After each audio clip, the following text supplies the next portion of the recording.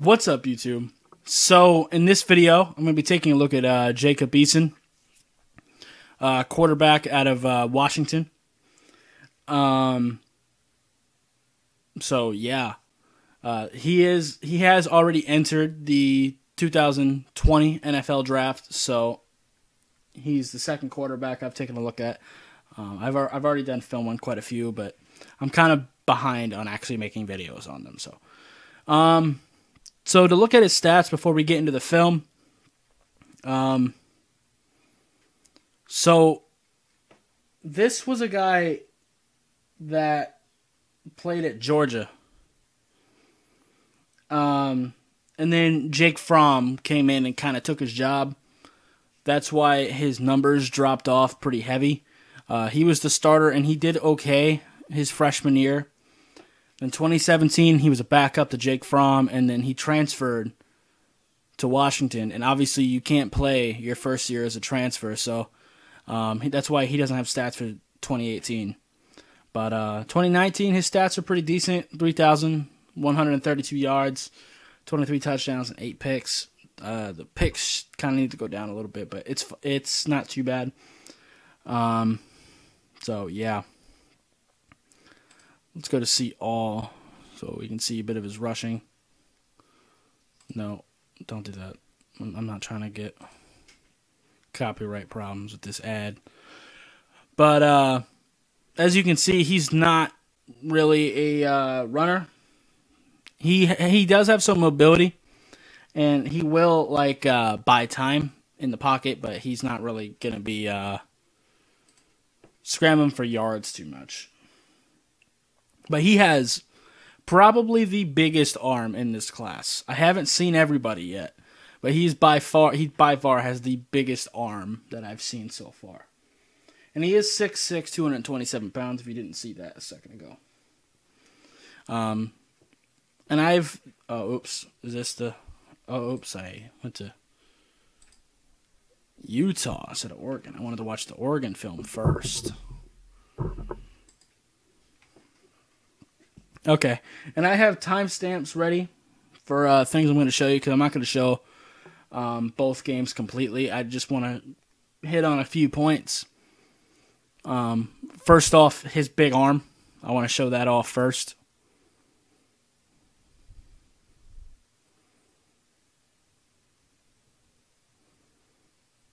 Mm.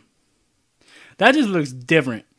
Um, I made a video on Jordan Love, and he and he has a good arm too, but that ball just looks different coming out of his hands. I mean, he, he just has a cannon. I mean, there's a lot more to being a quarterback than a strong arm. And look, his base is nice and wide. That, that that that's what you're looking for if you're looking for a deep pass. If you're trying to get power, getting a wide base and throwing through your whole body, that's how you do it. And that, that's just a gorgeous throw, and he does that sometimes. He really does, but then he has some problems. Um, let's see. Next timestamp, two fifty three.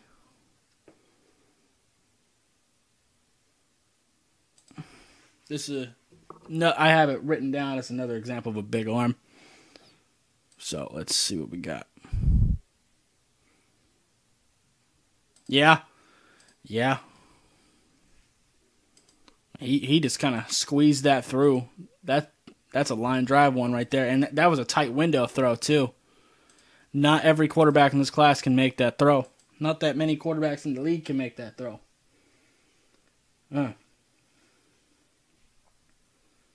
Um, next timestamp, 323.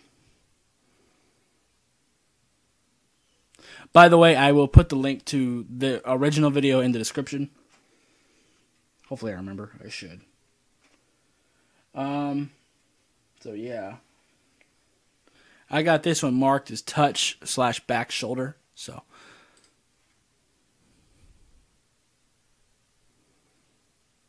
Yeah. Yeah. Notice how he throws this nice and high. It's too high for the defender to be able to get his hands on it. By the way, this is pass interference in the league on the on the defender's part, but we're not looking at him.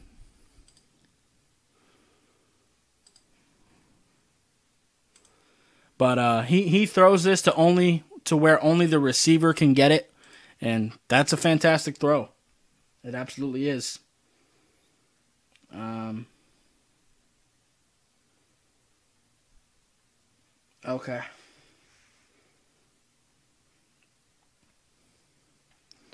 Three fifty three.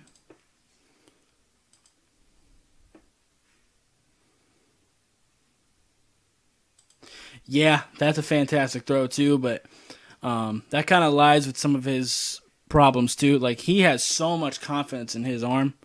Like if this defender reads that any faster, that can be a pick. Or if he just jumps higher and puts his hands up. But he throws an absolute bullet. The ball just looks different come out of his hands. It just does. Um, next one is 599, and this will be the last play of this of this uh, video. Wait, what? That don't make sense. Oh, my bad. 509. My bad. I had a trouble reading my own handwriting there, but then I realized 599 doesn't make sense. That's not how minutes work. God.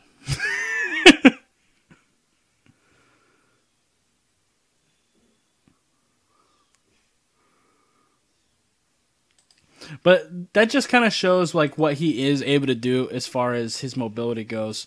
He's not super athletic. He really is a pocket passer with a strong arm. But he can scramble out a little bit and buy some time and deliver a decent ball. So there's that. And then um, that's going to be the last of the Oregon game we're going to watch.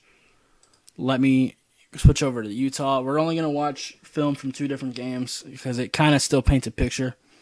And good, the sound is off. I don't. I'm not trying to get copyright. Um, by the way, just in case I forget, if you if you see this is the uh, channel hash that that's the original uploader, and then I don't know how to pronounce that, but that. Uh, so let's go ahead and get right into that. Into Utah. I've already got it set up.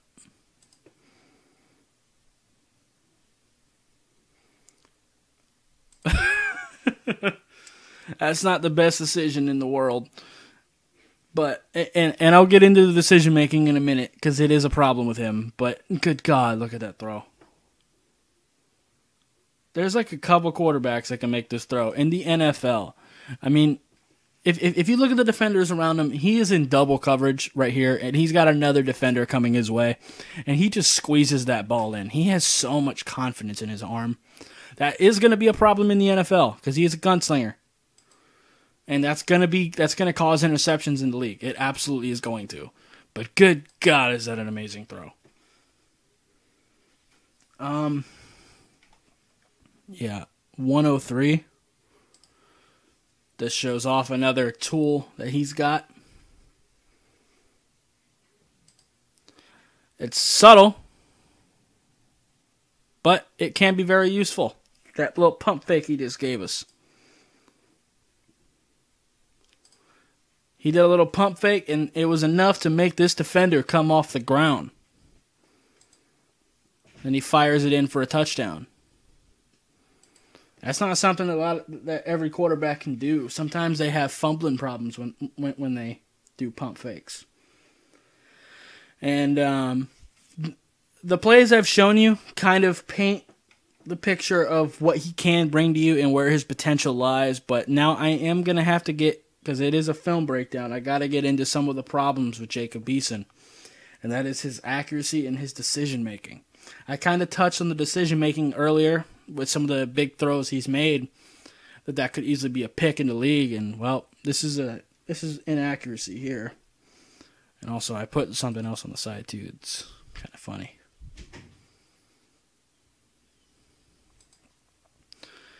Yeah, the inaccuracy on that play, man. I think I rewinded it too far. Yes, I did. By the way, I'm not editing this. I suck at editing and I don't like editing, so, you know, I'm not doing that. Yeah, he just completely overthrows his receiver here, and he actually hits this coach in, in, in the leg. I just wanted to point that out. I hope I hope his leg is okay. Uh, hope he can walk tomorrow. all that good stuff. But let me see, 442 kind of gets into his decision making a little bit here.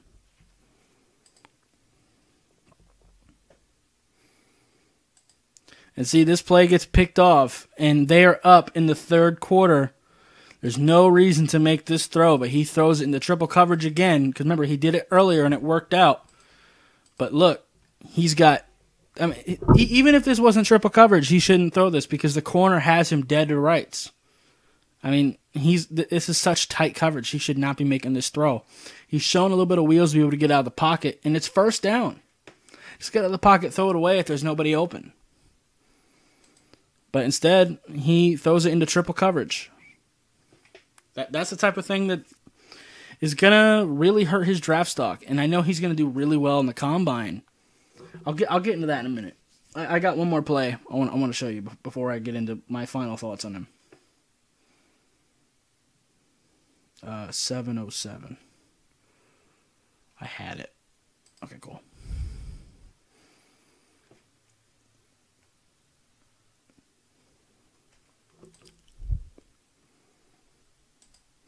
Now, this is third and eight.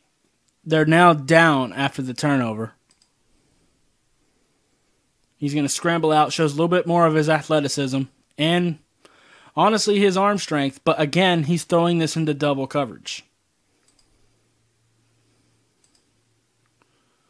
And to make matters worse, he doesn't have to make that throw because once he scrambles out, he's got a receiver here and he's got his running back right here and that aren't in double coverage. Give it to one of them and see if they can make a play. But instead, he lobs this up into double coverage and it ends up getting picked off. You can't do that type of stuff in the league. That's what I call hero ball. Just thinking that your arm is so fantastic that it's always going to work out. That's going to get you killed in the league. Um, but overall, I like Jacob Eason. I think he has a lot of potential. Um, I, I think if you pick him up in the later rounds and possibly develop him, you might be able to get yourself a decent quarterback.